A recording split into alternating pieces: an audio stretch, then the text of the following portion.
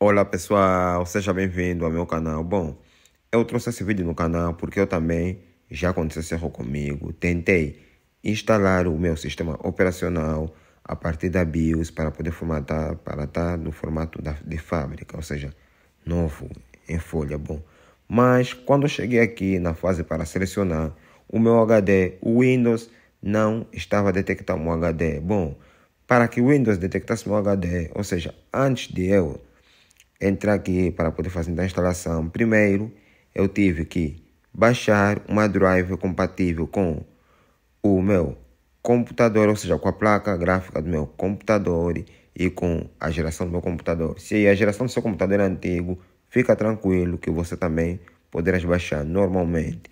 E eu vou deixar o link dessa drive então na descrição do vídeo.